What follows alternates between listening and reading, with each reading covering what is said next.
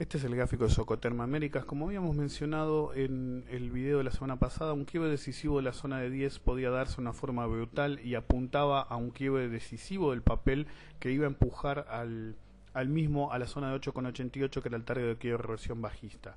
Ahora, el quiebre se dio directamente con un gap brutal hacia la zona de 9 pesos y si bien hubo un rebote intradiario, la debilidad continuó, si bien en una forma bien lateral continuó, baja de volumen muy importante, ojo con atribuir esto a un movimiento eh, es decir, está angulado de volumen, es decir, a una señal de compra. La señal de compra hay que buscarlas en otro lado en papeles como este. La baja liquidez se da a que nadie lo compra. Como había mencionado ya en la zona de 17 y me censuraron por mencionar eso, un papel como este cuando empieza a bajar se corren todos los vendedores y no es baja de volumen, es no hay nadie en la compra y se dan estas caídas espectaculares. Hay que tener muchísimo cuidado con ese factor.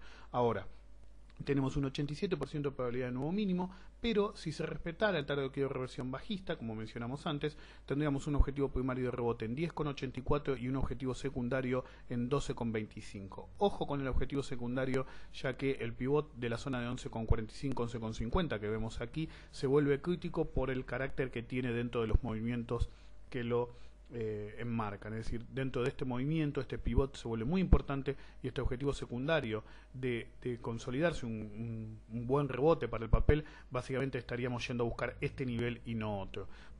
¿Por qué? Por dos razones. Vamos a ver el gráfico semanal.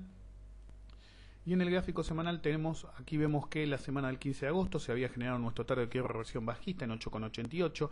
De hecho, el mínimo lo excedió un poquito, pero vemos que fue respetado esta semana. Y esta zona, eh, este 8,88 significa dos cosas. ¿Por qué se llama target de quiebra reversión? Si quiebra este nivel, el papel se desarma, literalmente se desarma, pero estaríamos hablando de un impulso bajista brutal. Y ya que estamos llegando a niveles en los cuales el papel, es, la, historia del papel comienza ahí, en esta zona de acumulación importante, es muy improbable que se dé un quiebre decisivo este tarde de reversión en 8,88. Entonces, ¿qué significa? Que lo más probable es que dé lugar a una reversión importante.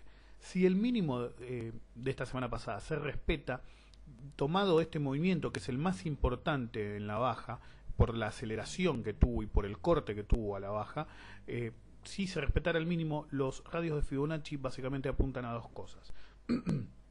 Primero, el primer objetivo de resolver en un rebote importante, recuerden que 10 eh, en un rebote 10 va a ser testeado como resistencia y si no logra cruzar 10 nuevamente al alza, el papel se desarmaría literalmente porque sería un pullback en el cual se confirmaría el carácter de 10 como resistencia y no como soporte.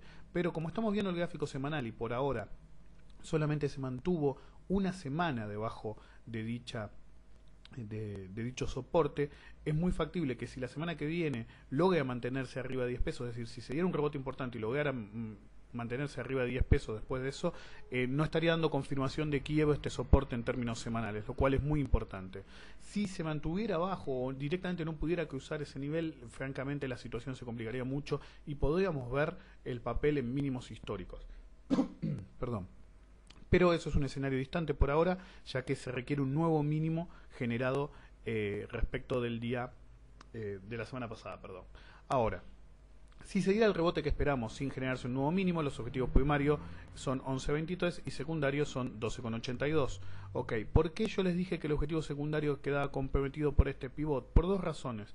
Primero, dentro del movimiento que hubo, este fue el pivot más importante de intento rebote y encima fue hecho desde el soporte de 10 pesos. Y como segundo ítem, casualmente coincide con el 25% de Fibonacci. Ok, muy pocos lo hacen, algún día lo voy a hacer en un video. Hay una forma bastante compleja de predecir pivots, que básicamente es decir, antes de generar este mínimo, hacen eh, mentalmente, eso se hace con Excel normalmente, se hacen, en, por ejemplo, este eh, pivot que tenemos aquí, lo voy a explicar rapidito, asumimos que este sería un radio de Fibonacci. Es decir, antes de que, es decir, en la zona de 10, cuando se da esto y se da una caída, asumimos que este es un radio de Fibonacci. Entonces, ¿qué hacemos? Calculamos en Excel si este fuera el 25%, el 38, el 50 o el 61,8, cuál sería el objetivo final. Es decir, no buscaríamos el retroceso, sino que buscamos el mínimo que generaría que este retroceso sea el 25 o el 38,2. Entonces, si nosotros hacíamos eso, que de hecho yo lo hice la semana pasada, por eso eh, me daba el objetivo de 8,88, si nosotros hacíamos eso, básicamente nos dio el mínimo del papel. Es decir, asumíamos que este movimiento iba a ser el 25 o el 38,2 y nos iba a dar este objetivo, que era el único objetivo posible que nos garantizara que este pivote iba a ser el 25%. Entonces, a tener cuidado con este papel, eh, es el momento tal vez de retomar posiciones para los que vendieron muy bien sus posiciones.